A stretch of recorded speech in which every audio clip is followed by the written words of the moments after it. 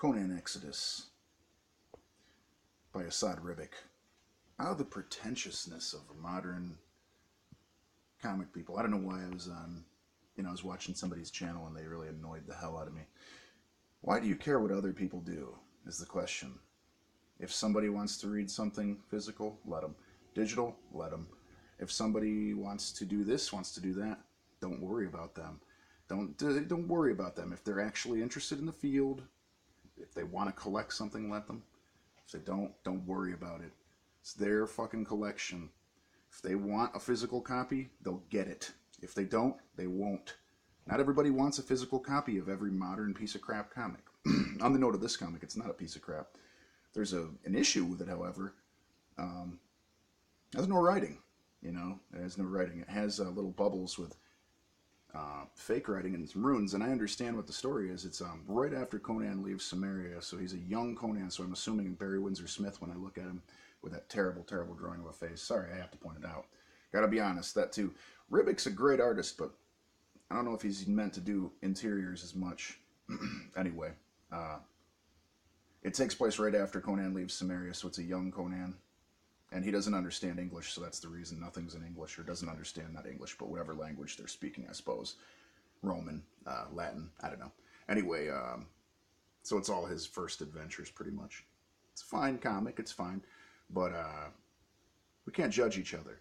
We need to be more accepting, less elitist. It's the same thing as any number of other things, and people can get things however they want, and people can worry about other people a little less. Let people be themselves don't judge them. Just be yourself. Now I hear somebody just on online just judging away, just giving people a hard time about stuff, and it's like, brother, you are not a gatekeeper. You are not in charge of anything. You're just a fan.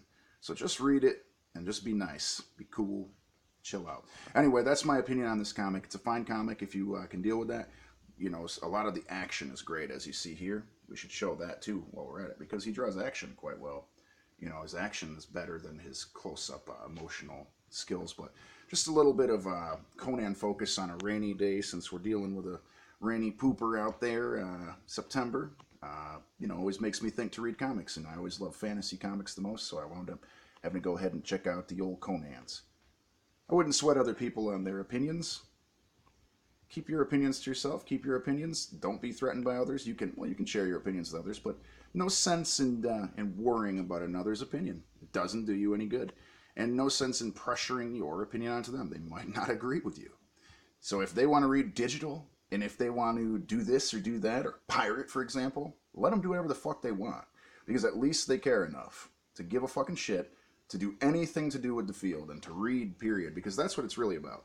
I don't know why people are so interested in corporate piece of shit companies like Marvel and DC doing well. If they're if they're pirating small companies, it's another story. But people like myself, I read exclusively indie comics and buy them. I buy those.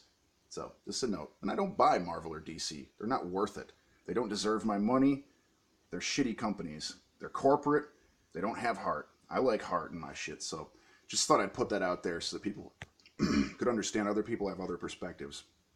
You don't need to worry about what other people like and what they whether they want to do it that way or they want to do another. At least they care about the medium and at least they give a shit about any comics such as Alterna, Valiant, and Boom Studios, IDW, and Vault, and uh, all these other rando companies, and Image, and any number of other companies that they might like to, and Dark Horse, they might like to support, but just not want to support a shitty company like Marvel or DC. So, and I do support DC, by the way. They don't put out near as bad a stuff as Marvel. Social engineering and all that. Take care.